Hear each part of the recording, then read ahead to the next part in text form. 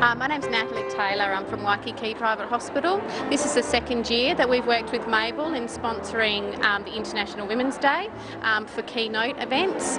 Um, Mabel is brilliant to work with. She's professional, well organised, and her events offer a great opportunity for us to socialise and network and provide better opportunities for the community.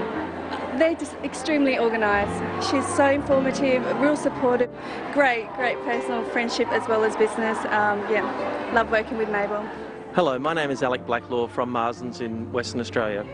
Mabel Laidlaw from Keynote Events had asked me to get involved in the International Women's Day for 2012. Uh, I jumped at the opportunity to get involved and the event has just concluded today. It was run exceptionally well uh, the event went to time, the speakers were tremendous, we were well looked after as exhibitors, and I'd thoroughly recommend it as an opportunity for other sponsors for the 2013 event.